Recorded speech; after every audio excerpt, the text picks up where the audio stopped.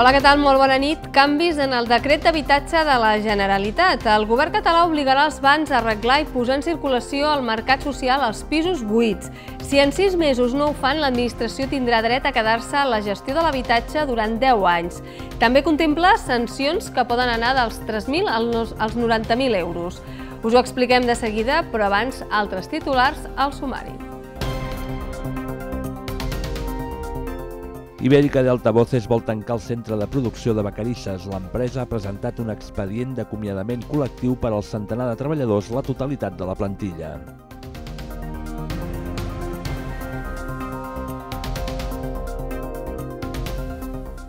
El termini de preinscripció escolar per al curs 2015-2016 ja està en marxa i es perllongarà fins al 17 de març. Per a primer d'ESO s'oferten 105 places més que l'any passat.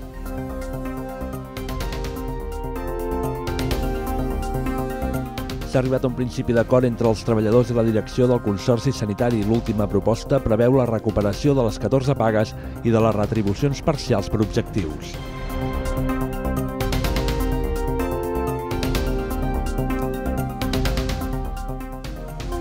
Les penyes del Terrassa faran diumenge una col·lecta en solidaritat amb la primera plantilla.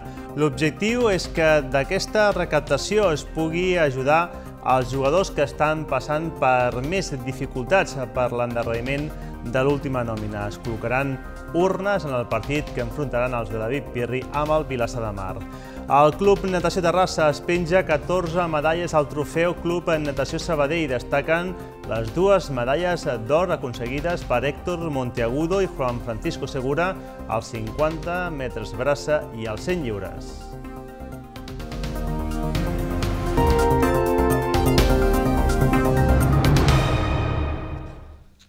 La Generalitat ha decidit passar a l'ofensiva per posar en circulació els pisos buits que tenen els bans. Els obligarà a oferir-los en lloguer social i imposarà sancions i una espècie d'expropiacions temporals a qui no ho faci. Terrassa és una de les ciutats pioneres a l'hora de pressionar els bans pels habitatges buits. A la ciutat hi ha uns 11.000 pisos buits, dels quals 2.500 són propietat d'entitats bancàries. Sí, nosaltres anem pel tema Canvis en el decret d'habitatge de la Generalitat. El govern català obligarà els bancs a arreglar i posar en circulació al mercat social els pisos buits. Si en sis mesos no ho fan, l'administració tindrà dret a quedar-se a la gestió de l'habitatge durant 10 anys. També contempla sancions per a les entitats infractores que poden anar dels 3.000 als 90.000 euros. A més, les entitats financeres hauran de declarar els habitatges que tenen buits o ocupats sense contracte, D'aquesta manera, el govern crearà un registre per reforçar l'aplicació de l'impost. Una altra de les decisions anunciades és que la Generalitat tindrà preferència per comprar els pisos que les entitats financeres posin a la venda i evitar així que caiguin en mans de grans fons d'inversió internacional, coneguts com a fons voltor. Aquesta mesura s'aplicarà fins al 2021 a les 72 localitats amb més demanda. Cal alineació de, tot, de totes les administracions i el món local cal que es concentri, abans també ho dèiem una resposta, no tant en la producció, en la transformació de nou sol, com sobretot en el lloguer social. El govern en aquest sentit no pararem de generar mesures d'estímul. Aquest conjunt d'accions tindrà especial rellevància en una ciutat com Terrassa, on l'Ajuntament té comptabilitzats 11.000 pisos buits. D'aquests, uns 2.500 estan en mans dels bancs. El consistori va ser pioner a tot l'Estat en l'aplicació de sancions a les entitats financeres per donar sortida a aquests pisos davant la imperiosa necessitat social d'habitatge. L'Ajuntament de Terrassa ha obert ja un miler d'expedients, 200 dels quals s'han tancat perquè les entitats han cedit els pisos. A més, ha imposat una cinquantena de multes i continua impulsant iniciatives perquè els bancs ofereixin el lloguer social, aquells habitatges que porten més de dos anys sense ocupació. Parlem ara del conflicte laboral de la fàbrica ibèrica d'altavoces de Vacarisses. L'empresa finalment ha presentat un expedient d'acomiadament col·lectiu que afectarà a tots els treballadors. Del centenar d'empleats, una vuitantena són terrassens. La fàbrica ibèrica d'altavoces de Vacarisses tanca. L'empresa, especialista en la fabricació d'altaveus d'alta gamma i per a diferents marques de vehicles del grup italià Faital, ha presentat un expedient d'acomiadament col·lectiu per al centenar de treballadors que conformen la totalitat de la plantilla. L'empresa ha donat un permís retribuït per a 87 treballadors, mentre que només una vintena treballen a la fàbrica. Els treballadors es reuniran divendres amb l'administrador assignat pel jutge, només amb l'objectiu de poder negociar les millors indemnitzacions. La plantilla ja va denunciar al febrer la intenció de l'empresa de deslocalitzar la producció a Hongria des de l'agost, que tots els passos que donen sempre és en contra, sense saber res, ho presenten i, i, i ho veus després, i nosaltres tenim clar que ells no volen, no volen saber res. Vull dir, ells tenen molt clar on volen anar a guanyar els diners i on, on, on no els guanyen tant i ja no els interessa. Sí que és veritat que no té liquiditat, però és una liquiditat és una falta de liquiditat forçada vull dir, per l'empresa, que ens ha portat a aquesta situació. Els treballadors es van manifestar a finals del mes passat pel centre de Terrassa per forçar l'empresa a una negociació quan la direcció s'havia presentat a un concurs de creditors. Els treballadors, que dimarts que ve es reuniran amb l'alcalde, volen evitar que una empresa sanejada i sense deutes, com diuen es troba Ibèrica d'Altavoces, vagi al fons de garantia social i que l'administració hagi de pagar els seus acomiadaments. Després de les mobilitzacions dels últims dos mesos, s'ha arribat a un principi d'acord laboral entre els treballadors i la direcció del Consorci Sanitari. L'última proposta de la direcció preveu la recuperació de les 14 pagues i de les retribucions parcials per objectius, entre d'altres millores assistencials i condicions laborals. El comitè d'empresa i la direcció del Consorci Sanitari de Terrassa arriben a un principi d'acord després del suport en referèndum de més d'un 60% dels treballadors a favor d'un pacte d'empresa. L'última proposta de la direcció preveu la recuperació de les 14 pagues i de les retribucions parcials per objectius, entre d'altres millores assistencials i condicions laborals. Ara, comitè i empresa hauran de negociar la lletra petita. Mentre el comitè d'empresa accepta el resultat de la consulta en superar el 60% de la participació i el suport a l'acord, la direcció destaca que el pacte representa l'inici de la recuperació de la crisi que calia un, més d'un 60% de participació i que calia més d'un 60% d'alguna de les opcions i en aquests casos consideràvem que el resultat de, de les consultes o del referèndum seria vinculant. És el, eh, en aquest cas ha estat així i per tant respecte absolut i a partir d'ara voluntat i exigència per mirar de que eh, es plasmi de forma molt, molt precisa allò que vam exposar a les assemblees i de que s'apliqui amb tota la seva extensió. Tindrà una durada de dos anys, 2015 i 2016, tal com el comitè d'empresa ens va demanar. I pensem que des del punt de vista del treballador s'ha de llegir com a l'inici d'un procés de recuperació de tota una sèrie de condicions de treball que en els últims 4 o 5 anys havien resultat molt afectades com a conseqüència de la crisi econòmica i de la minva de recursos i finançament de les, de les entitats sanitàries públiques com la nostra. D'altra banda, des del punt de vista de l'empresa, s'ha de llegir com eh, un pacte que ens ha de permetre continuar el procés cap al reequilibri econòmic de la nostra institució. Des del passat mes de gener, els treballadors del Consorci Sanitari s'havien mobilitzat perquè amb el mateix pressupost que l'any passat, la direcció volia aplicar, segons els treballadors, noves retallades salarials. Ara i després d'intenses negociacions, direcció i treballadors s'han posat d'acord en una proposta conceptual, tal com la defineixen, que s'haurà de definir amb un redactat ajustat. Avui ha començat el període de preinscripció per a infantil, primària i secundària. Terrassa manté la mateixa oferta de places de P3 pel pròxim curs escolar. És una dada que contrasta amb el global de Catalunya, on el descens de natalitat motiva un descens d'alumnes. A la nostra ciutat, però, aquesta situació la notarem d'aquí a dos cursos. A l'ESO, secundària, les places sí que augmenten aquest proper curs. La preinscripció per a segon cicle d'educació infantil, educació primària, educació especial i educació secundària obligatòria ja està en marxa i es perllongarà fins al 17 de març. Les sol·licituds es poden fer arribar directament als centres o a l'oficina municipal d'escolarització. S'oferten 2.475 places de P3, les mateixes que l'any passat, però distribuïdes de forma diferent. L'escola Maria Galí a Can Boada perd un grup i es queda amb una única classe i President Salvans a Can Palet en guanya un, passant de 2 a 3. Des del nostre criteri jo crec que eh, hagués sigut segurament molt més prudent eh, mantenir la mateixa oferta i en funció del procés de preinscripció de les famílies reconduir. De cara al curs 2016-2017, Pérez alerta d'un descens de la demanda de places escolars de P3 perquè hi ha registrada una caiguda important de la natalitat, més de 200 criatures menys. A la resta de Catalunya aquesta davallada ja es notarà aquest setembre. A primer d'ESO es dona la situació contrària. S'oferten 2.209 places, 1.140 a centres públics, 105 places més que al curs actual. Blanchard, Can Roca i Nicolau Copèrnic passen de dos a tres grups. Als instituts concertats s'oferten 1.069 places. El regidor alerta de la necessitat de construir nous equipaments escolars. L'escola Sala i Badrines, per la qual l'Ajuntament ha cedit 2.600 metres quadrats perquè pugui créixer en la seva ubicació provisional, i els instituts de Can Roca i les Aimerigues. La demanda de places a la secundària anirà en augment en els propers exercicis. Per tant, si la construcció d'un institut són 15-16 mesos, eh, si no hi ha la partida pressupostària en el 2015, si ens n'anirien al pressupost del 2016, tenir un problema. O el Departament d'Ensenyament té un problema. Sobre les novetats anunciades per la consellera Irene Rigau, un informe mèdic per detectar necessitats específiques dels alumnes de 3 anys i la possibilitat que els nens prematurs puguin incorporar-se més endavant a P3. Segons el seu grau de maduresa, Pérez reconeix que té poca informació sobre els objectius de les mesures. Les llistes baremades de les sol·licituds es publicaran el 27 de març.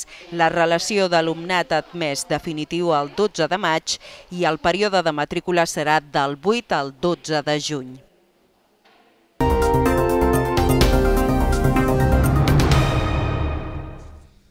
Operació policial aquest dimarts al matí a Terrassa. Un dispositiu dels Mossos d'Esquadra i la Guàrdia Civil ha registrat un immoble del número 107 del carrer Marinel Bosch al barri de Plaça Catalunya Escola Industrial. L'actuació policial ha finalitzat amb la detenció d'un home dins d'una operació que es manté en secret de sumari. Tot i que la investigació continua oberta, des de Mossos d'Esquadra s'ha descartat qualsevol vinculació amb el terrorisme.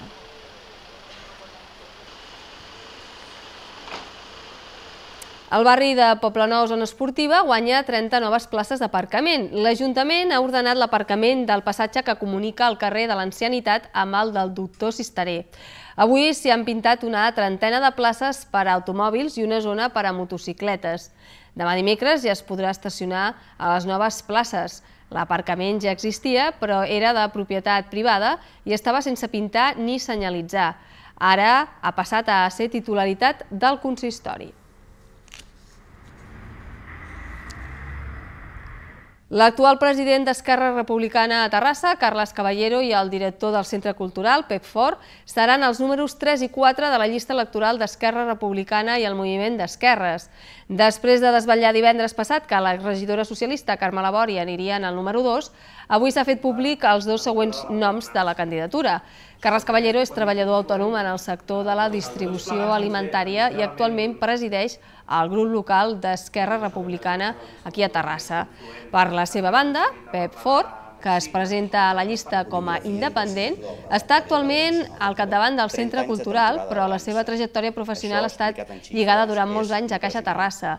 La seva trajectòria com a activista social i cultural també és força àmplia, va ser amb 22 anys vicepresident de l'Associació de Veïns de la Maurina i ha estat president de Minyons eh, durant dos períodes, el darrer, el 2010 i 2011. Fort també ha estat un dels impulsors del Pacte pel Dret a Decidir.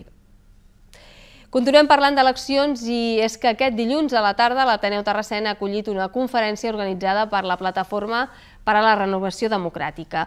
La xerrada ha estat pronunciada pel doctor Joan Botella Corral, degà de la Facultat de Ciències Polítiques i Sociologia de la Universitat Autònoma de Barcelona. La conferència ha portat per títol 2015, any d'eleccions, any de canvis, Joan Botella és expert en política comparada i està especialitzat en partits polítics, eleccions, govern local i opinió pública. És autor també d'obres com El sistema electoral, escrit el 1966, La ciutat democràtica, el 99, o Democracy in Contemporary Spain, el 2004.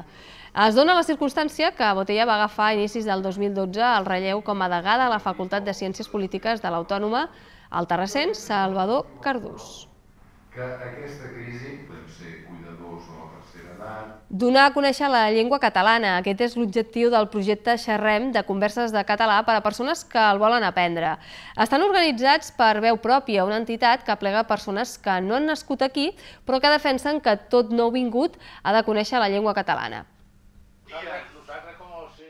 Aquesta és una de les tantes i tantes sessions dels grups Xerrem de converses en català per a persones que el volen aprendre. Hi ha persones relativament nouvingudes d'altres països, però la majoria són persones vingudes de la resta de l'estat espanyol fa molts anys. Per diversos motius, en el seu moment no el van aprendre, però ara molts ja no treballen per edat i amb els nets han vist oberta una segona oportunitat per aprendre la llengua pròpia de Catalunya. Els grups Xerrem són de 8 a 10 persones, acompanyades de dos voluntaris que es troben un cop per setmana durant una hora i mitja. No fan gramàtica, només conversa, i parlen de qualsevol tema d'actualitat ja sigui cultura, natura, llibres o fins i tot política. Jo puc parlar català, si m'agrada, m'entenc bé. Quan anar a, a l'Ajuntament, jo entenc bé el català, jo puc parlar català sense problema. Jo puc llegir, escriure i jo entenc uh, molt bé. Havia anat a la normalització lingüística, però és que la gramàtica i coses d'això no. I ara, pues, com que ja no treballo ni estic Digo, ah, pues ahora es la ocasió. On treballava, tothom parlava en castellà i, és clar no he tingut temps. I ara que estic en tu i tinc, i tinc temps, doncs vull aprendre. Els grups Xerrem els organitza la Coordinadora d'Associacions per la Llengua Local a diverses ciutats de Catalunya i a Terrassa ho fa en col·laboració amb veu pròpia. Aquesta entitat, creada el 2005, agrupa persones que no han nascut aquí, però que defensen que tot nou vingut ha de conèixer la llengua catalana. Aprendre la llengua pròpia del país t'obre moltes portes i tu et sents propi d'aquest país on hi arribes. Ho dient gent que hem tingut també els problemes de deixar la nostra terra, la nostra família, que hem vingut a Catalunya i hem après la llengua pròpia d'aquí. Aquesta iniciativa és una iniciativa molt bona, eh, hauria entre tots de potenciar aquesta iniciativa perquè la gent eh, arriba i no sabe el català és, eh, és molt greu. Veu pròpia convida els catalanoparlants que vulguin fer de voluntaris del projecte Xerrem que es posin en contacte amb l'entitat. Tots els participants del Xerrem que estan aprenent català coincideixen en una cosa. Insisteixen que no canviem el castellà quan veiem que algú té dificultats amb el català. Avui als esports, Joan Gutiérrez ens parla de futbol, de waterpolo, natació i bàsquet. Fins ara.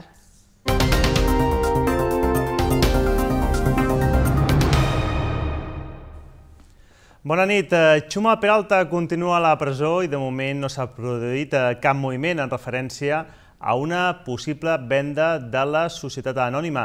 Cristina Valencia, gerent del Terrassa i mà dreta de Peralta, està declarant davant del jutge que porta el cas, Fermín Otamendi. Demà dimecres sembla ser el dia en què es donaria una resposta a Jesús Fernández, que també està escoltant altres ofertes per la compra del club.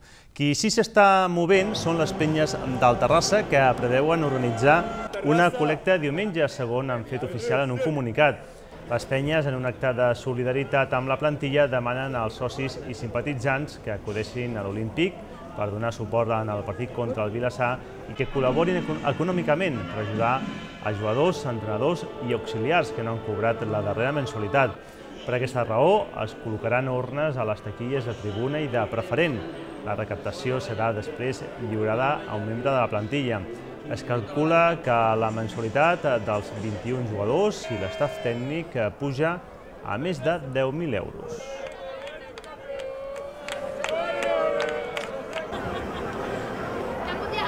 No deixem el futbol, però parlem de la categoria juvenil. El Java, que està, eh, va estar a punt de dissabte de retrobar-se en la victòria al camp de la Pobla de Mafumet, escenari del partit que va enfrontar els de Rafa Bermejo amb el Nàstic de Tarragona. Al final, però, els agarencs no van passar de l'empat a un. El Javac va aprofitar les poques ocasions de gol que hi va haver en aquest partit i es va avançar als 11 minuts amb un cop de cap de Max. Els terrassencs van gaudir de més oportunitats per ampliar el marcador, però no va ser així i el Nàstic ho va aprofitar per empatar amb temps afegit mitjançant a l'eix. L'empat manté el Java, que en última posició a la divisió d'honor juvenil amb 15 punts, a 10 de la salvació, quan queden 5 jornades pel final. Dissabte el conjunt de Bermejo rep el segon classificat, l'Adam. Una nova derrota combinada amb el que faci el Lleida Esportiu podria condemnar matemàticament el Javac al descens de categoria.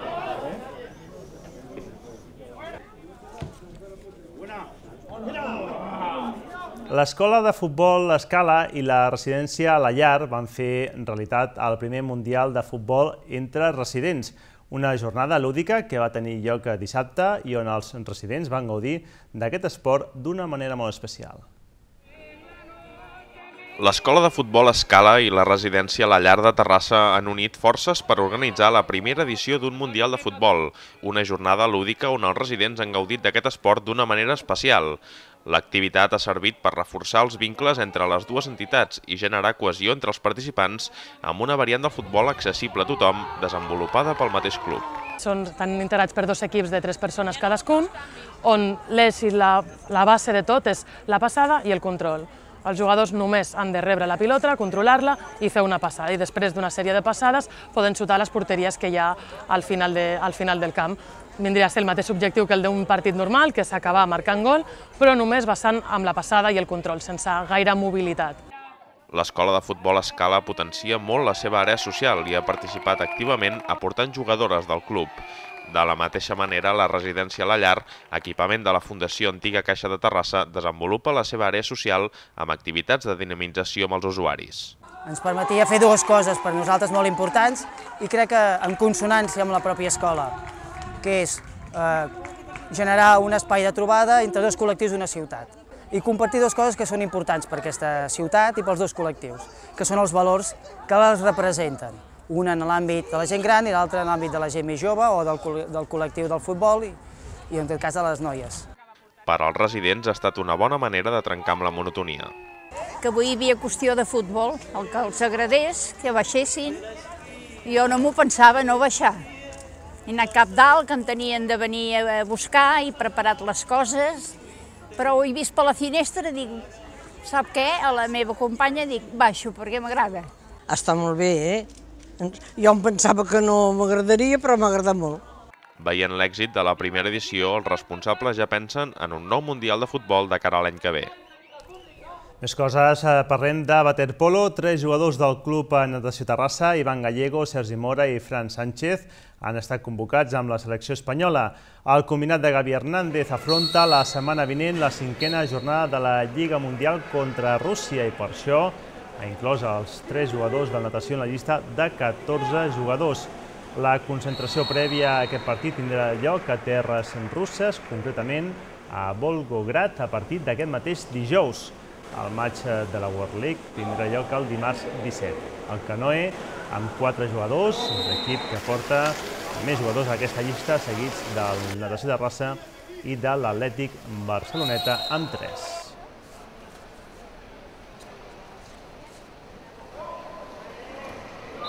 No deixem l'àmbit aquàtic, però parlem de natació. Excel·lent collita del Club Natació Terrassa a la novena edició del trofeu Club Natació Sabadell, disputat el passat cap de setmana.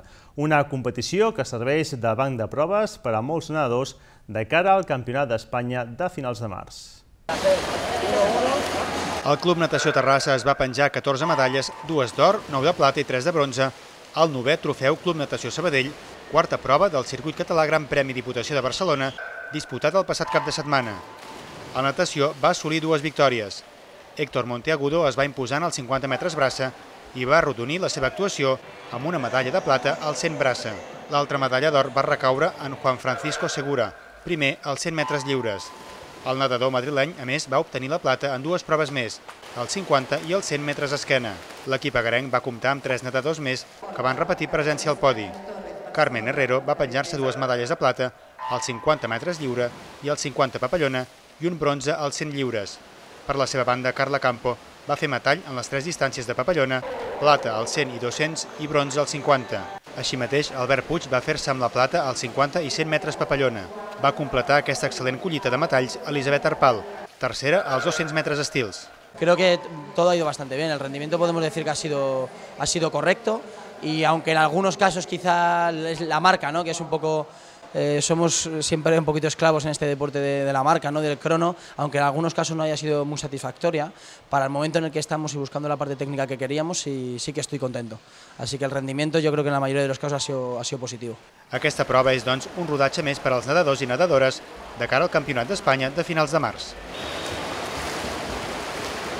Un triomf i dues derrotes és el balanç dels tres equips terrassencs que militen a la primera catalana de bàsquet. El Natació Terrassa va sumar diumenge la cinquena victòria consecutiva després de guanyar la pista del tercer classificat, el Badruna Gràcia, per 70-81. Els de Jordi Sociat són quarts, ocupant plaça de promoció d'ascens.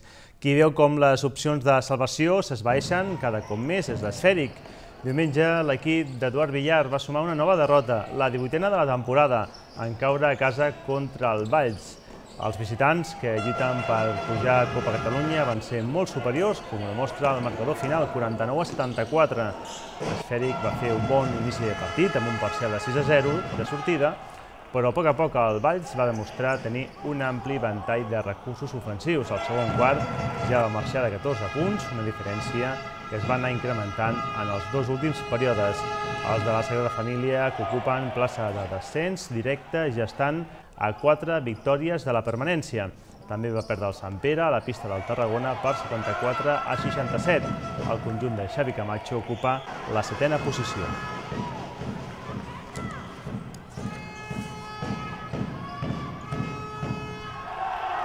I en categoria femenina no hi van haver bons resultats. La Jet va caure a Reus i es complica la permanència a la Copa Catalunya. A la primera catalana, el natació va saldar amb una victòria i una derrota a la doble jornada que afrontava, mentre que la Jet B continua sense conèixer el triomf.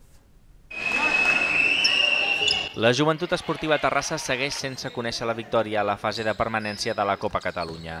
Dissabte va perdre per 62 a 44 a la pista del líder del grup, el Reus Ploms. El conjunt que dirigeix Jordi Segura va quallar una notable primera meitat i va saber contrarrestar l'atac reusenc, el més potent d'aquesta fase. Al descans només partia per 4 punts, 29 a 25. Un triple agarenc només iniciar-se al tercer quart encara impulsava més les opcions de victòria de la Jet, però va ser llavors quan el seu rival va tibar del seu potent joc interior. Els punts de les pivots del Reus van fer estralls en la defensa terrassenca, sense capacitat de reacció en el tram final del partit. Amb aquesta derrota, la Jet es manté en sisena posició, ocupant plaça de promoció per a la permanència. A la primera catalana, el Club Natació Terrassa Instituts Odontològics va afrontar una doble jornada. Dissabte va caure per un punt de diferència, 52 a 53, contra el Sant Andreu de Nazaret, equip que lluita per entrar en llocs de play-off d'ascens. El partit es va resoldre en els darrers minuts, amb una última acció per a les de Vicente Gómez que no van poder convertir. Diumenge, en canvi, les agarenques van derrotar a domicili el Tordera per 53 a 74.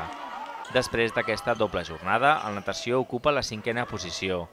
Per la seva banda, la Jet B va perdre per 33 a 45 amb el Vilassar de Dalt i continua sense conèixer la victòria a la Lliga. Demà més, Laura, però ja hem pogut anar veient com estan en el tema del Terrassa. Ara ja són les penyes del Terrassa que està fent aquest acte de solidaritat amb la plantilla. De, intentarem conèixer al llarg de la setmana la reacció d'aquesta plantilla, com està portant aquesta situació i com hem comentat, eh, Cristina València, que està declarant davant del jutge, del jutge. Eh, de fet fa una estona que ha entrat en el Tribunal Superior de Justícia de Navarra ja anirem informant al llarg de la setmana. Molt bé, Joan. Vinga, fins demà. Fins demà, adéu.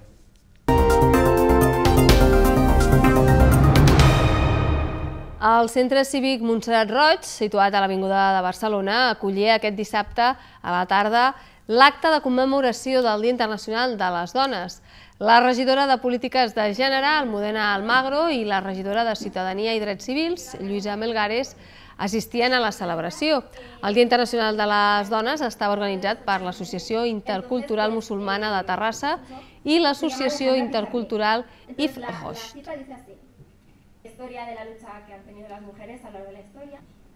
Més de 250 infants que participen a la catequesi parroquial es van reunir aquest dissabte al matí al Cinema Catalunya per la sessió del cinema espiritual. Els nens i nenes van poder gaudir d'una sessió de cinema infantil amb la projecció de la pel·lícula Malèfica, dirigida pel nord-americà Robert Stromberg. Posteriorment, i per posar punt i final a la trobada d'infants de catequesi, es va fer al fi de festa a les esglésies de Sant Pere amb motiu del 1400 aniversari del concili d'Ègara.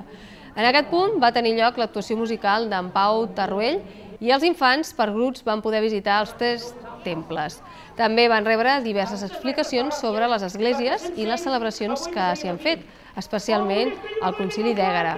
Les activitats estan organitzades pel bisbat d'Ègara. Ningú, ara tots, eh? Vila de Cavalls! I a motiu del Dia de la Dona Treballadora, la sala Xavi Sallent ha acollit aquest diumenge un concert del duet de folk Kinsale. Irene Talló i Raquel Muñoz han presentat el seu darrer treball, Hot Histories and Twisted Minds. El directe era el número 50 del duet i per aquest motiu han comptat amb la col·laboració de persones vinculades al seu projecte musical, entre elles el guitarrista Roc Calvet. Amb la seva música us deixem. Recordeu que teniu més notícies al terrassadigital.cat, al Facebook, Twitter i YouTube de Canal Terrassa. Fins demà, que vagi molt bé, molt bona nit. Exhausted,